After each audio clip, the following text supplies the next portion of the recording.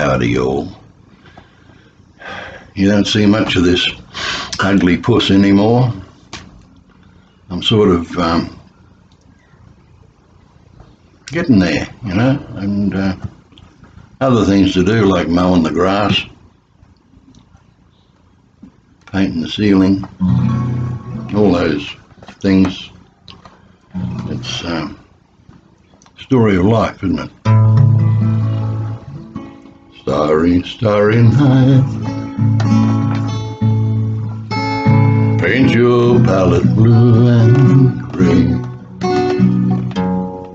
Look out on a summer's day with eyes that know the darkness in my soul.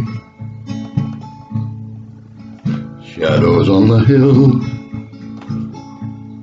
sketch the trees and daffodils. Catch the breeze and winter chills and colors on the snowy linen land. Now I understand what you tried to say to me. How you suffered for your sanity. How you tried to set them free. They would not listen. They did not know how. Perhaps they'll listen now.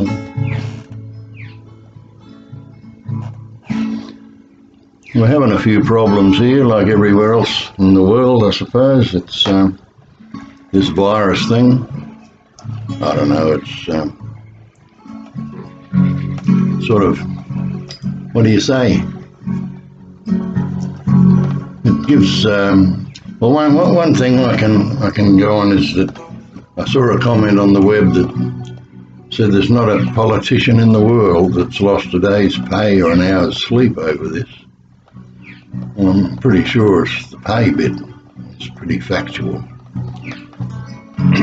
they take the opportunity to change laws and to alter things while everybody else is uh, locked in their house or put their mask on and go shopping and line up to get what's left on the shelf. Like the Queensland Premier, it's uh, can't think of a name. It's um, something like Palaznik or something, Premier Palaznik. I think just brought in a law that says that radio announcers, anybody on the radio, or anybody writing a newspaper, a journalist of any description, um, can't criticise or make any mention of any politician that, li looks likely to face any charges or any inquiry into what they've been up to. We all know what they've been up to. But to make a law that says you're liable to six months jail if you mention it, it sort of makes you think a little, doesn't it?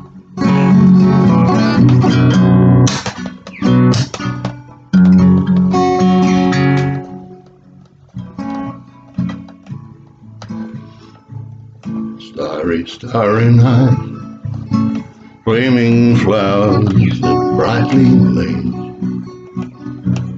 swirling clouds in violet haze, reflect in Vincent's eyes of china blue. There's one fella on the web that really, I find, he should have been a comedian. That's Freeman. Howdy, Paul.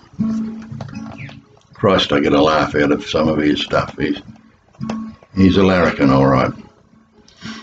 And I can't do uh, a video without mentioning Geoffrey Bennett, can I?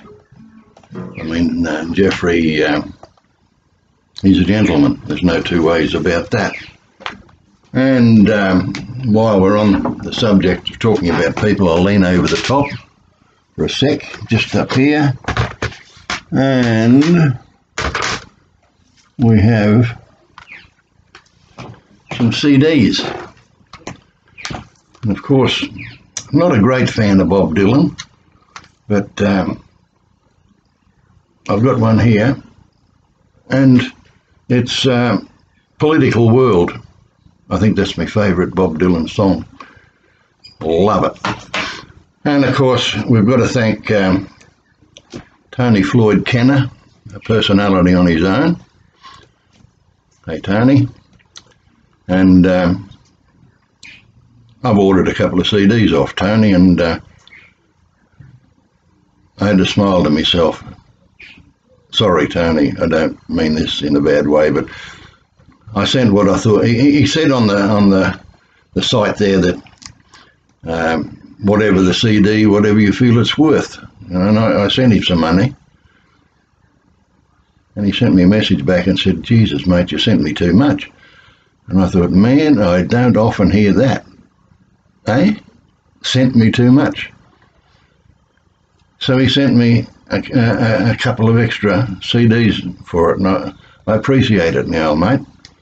I mean, we've got outside, there's one, and we've got um, Rihanna on this one. It's good. Footsteps of the Alien, Wheels of the World. I mean, um, you know, it's um, it's nice. It's not often you uh, you get something like that happen.